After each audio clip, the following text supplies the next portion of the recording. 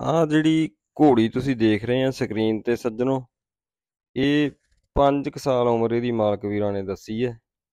ਕੰਨਾਂ ਕੁੰਨਾਂ ਦੀ ਸੋਹਣੀ ਹੈ। ਫੇਸ ਕੁਆਲਿਟੀ ਬਹੁਤ ਵਧੀਆ ਲੱਗੀ ਇਹਦੀ ਮੈਨੂੰ।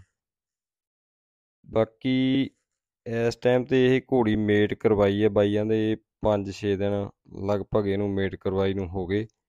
ਮੱਝੂ ਕੇ ਬਲੱਡ ਲਾਈਨ ਦਾ ਘੋੜਾ ਹੈ 66 ਇੰਚ ਦਾ ਜੀ ਤੋਂ ਇਹ ਮੇਟ ਕਰਵਾਈ ਹੈ।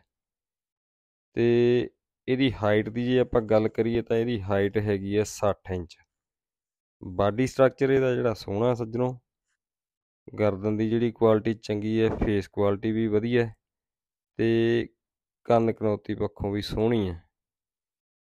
ਬਾਕੀ ਰਾਈਡਿੰਗ ਵਗੈਰਾ ਦੀ ਪਾਸ ਆ ਬਾਈ, ਉਹਨਾਂ ਨੇ ਦੱਸਿਆ ਵੀ ਬਹੁਤ ਵਧੀਆ ਚਾਲ ਜਿਹੜੀ ਚੱਲਦੀ ਹੈ, ਚੰਗੀ ਸੋਹਣੀ ਸਵਾਰੀ ਕਰਾਉਂਦੀ ਹੈ, ਚਾਲਾਂ ਦੋਵੇਂ ਚੱਲਦੀ ਹੈ।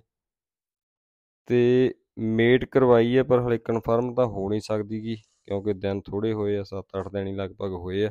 ਬਾਕੀ ਉਹਦਾ ਕੋਈ ਵੀਡੀਓ ਪ੍ਰੂਫ ਵਗੈਰਾ ਜਿਹੜਾ ਕੋਈ ਕਿਸੇ ਸੱਜਣ ਨੂੰ ਚਾਹੀਦਾ ਹੋਇਆ, ਜਿਹਨੇ ਇਹ ਖਰੀਦਣੀ ਹੋਈ, ਤਾਂ ਉਹ ਤੁਸੀਂ ਡਾਇਰੈਕਟ ਬਾਈ ਹੁਣਾਂ ਦੇ ਨਾਲ ਸੰਪਰਕ ਕਰਕੇ ਉਹਨਾਂ ਤੋਂ ਲੈ ਸਕਦੇ ਆ। ਨੰਬਰ ਜਿਹੜਾ ਸਕਰੀਨ ਤੇ ਚੱਲਦਾ ਪਿੰਡ ਬਾਈ ਹੁਣਾਂ ਦਾ ਜਲਾਲ ਦੀਵਾਲ ਲੁਧਿਆਣੇ ਜ਼ਿਲ੍ਹੇ ਦਾ ਪਿੰਡ ਹੈ ਦੋਸਤੋ, ਰਾਏਕੋਟ ਬੱਸੀਆਂ ਦੇ ਕੋਲੇ ਜੇ ਦੱਸਿਆ ਬਾਈ ਹੁਣਾਂ ਨੇ, ਲੁਧਿਆਣੇ ਜ਼ਿਲ੍ਹੇ ਦੇ ਵਿੱਚ।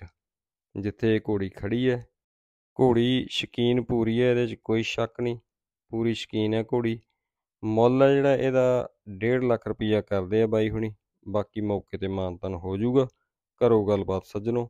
ਜੇ ਕਿਸੇ ਸੱਜਣ ਨੇ ਆਪਦੇ ਜਾਨਵਰ ਦੀ ਐਡ ਲਵਾਉਣੀ ਹੈ ਆਪਣੇ ਇਸ ਚੈਨਲ ਤੇ ਜਾਂ ਫਾਰਮ ਤੇ ਇੰਟਰਵਿਊ ਵੀਡੀਓ ਕਰਨੀ ਹੈ, ਤਾਂ ਇਸ ਨੰਬਰ ਤੇ ਸੰਪਰਕ ਤੁਸੀਂ ਮੇਰੇ ਨਾਲ ਵੀ ਕਰ ਸਕਦੇ ਹੋ। ਧੰਨਵਾਦ।